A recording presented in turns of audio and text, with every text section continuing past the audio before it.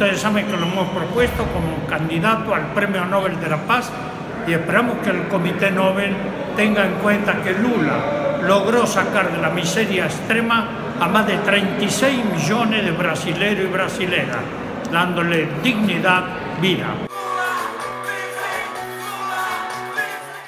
A cidadania, a dignidade, a justiça, a liberdade. Lula se torna símbolo da defesa de todos esses direitos nossos e que a gente não vai abrir mão.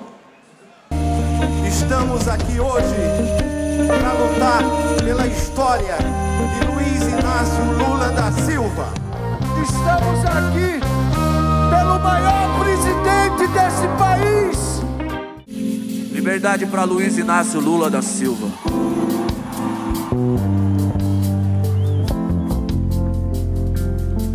O homem que fez a gente sonhar com a universidade. A prisão de Lula é arbitrária e a sua liberdade é por algo maior e suprapartidário. A gente está aqui hoje em respeito à nossa democracia.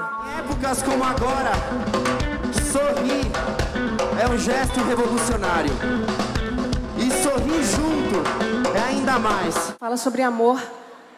E eu acho que o que a gente teve mais no governo Lula, governo do amor, amor pelas pessoas, amor de inclusão.